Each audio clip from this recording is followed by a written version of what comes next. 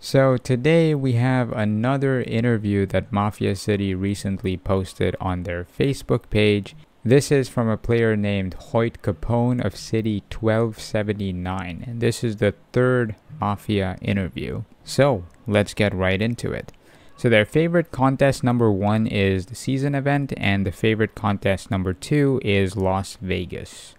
How do you like the season? I enjoy the season event very much.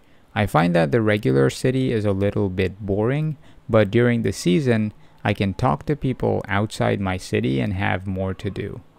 All season events are exciting, and it's great that we can choose the theme for our city.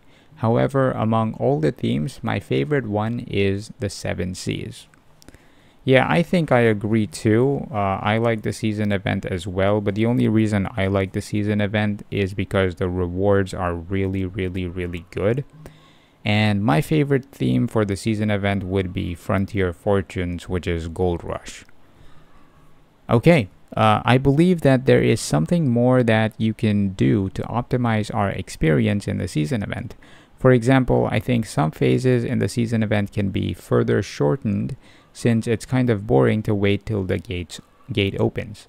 Also, if you can hold the Vegas event in between the season events, I think it would make it easier to manage our troops rather than having to struggle to manage our crew for two events at the same time. Yeah, I think a lot of people think this. A lot of people uh, think that the season event is really long. So, yeah, maybe they should uh, shorten the season event. I don't know what you guys think. Let me know in the comments down below. Also, about the Vegas thing, I don't really know how much of a problem that is. I don't really fight in Vegas that much. But I could see it being a problem, especially when there are battles going on on both maps at the same time. It's going to be really difficult to focus on both battles at the same time. Have you had any bad experiences recently? When I was participating in the season, I sometimes met some problems with lag due to all the players in the same area, especially in the season event Tower and Eye of the Storm. I hope this can be improved in the in the upcoming season events. So yes, this is another problem that a lot of players face. A lot of players complain about the game being really laggy and they definitely need to fix it.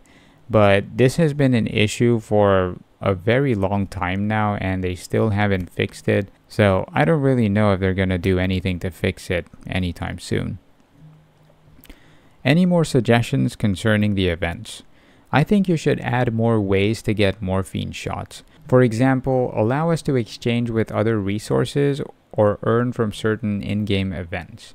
The personal pick packs and the winter springfest packs are good, but they don't provide enough morphine shots.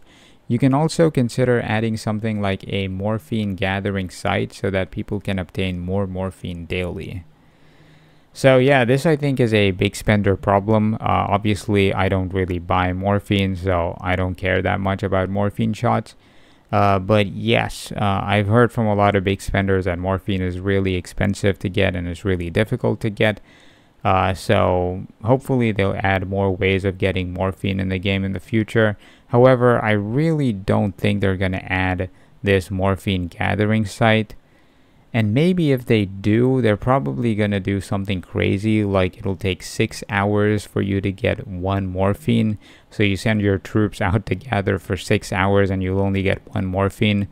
Uh, because I'm sure they don't want to give away morphine for free. So yeah, they're gonna make it very unattractive for people to gather morphine if they do add this feature. Okay, what else do you hope to see in the game? It's better to have more customized training or teaching services for players to know how to make their account stronger.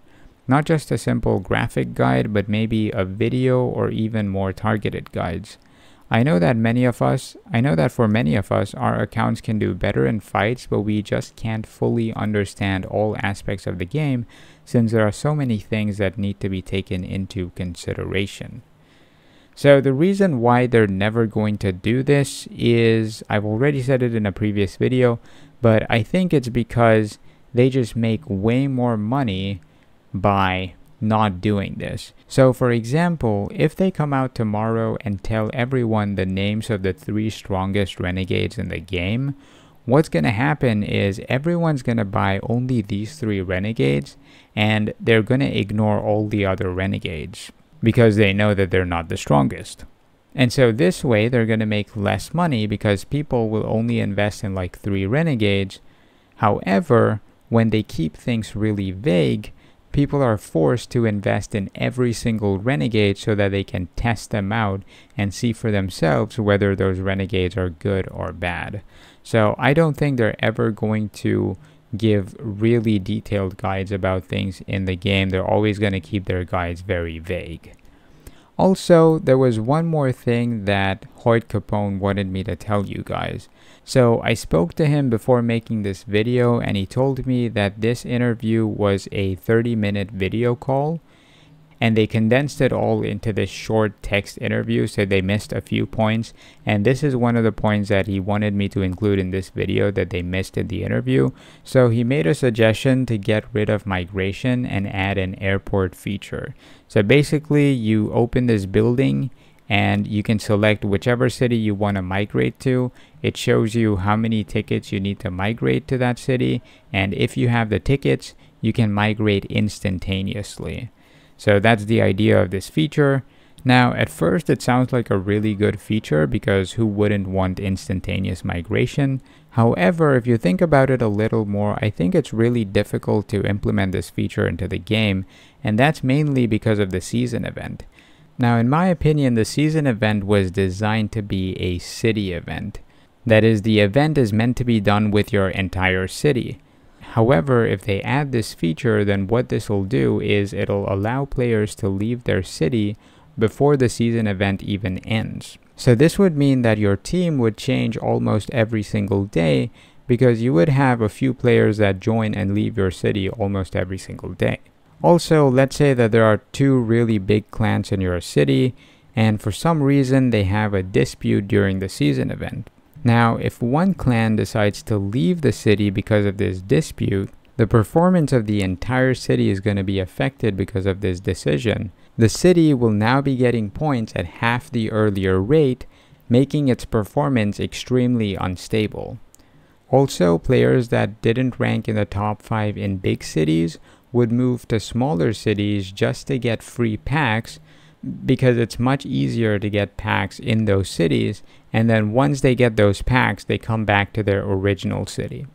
Also another issue that would arise is you wouldn't be able to have peaceful cities anymore. Cities that have no kill event or cities that only kill during the kill event would not be able to stay peaceful outside of kill event because with this feature there would always be a threat of rogues migrating to your city and destroying the entire city.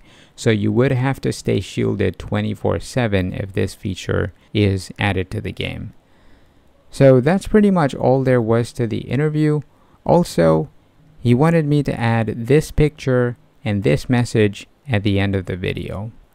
So that's pretty much all I had for you guys in this video. Let me know your thoughts about this interview in the comments down below. Before I end this video, I'd like to thank all of my patrons for the support. To support me, you can find my Patreon link in the description below. Thanks for watching the video guys, and I will see y'all in the next one.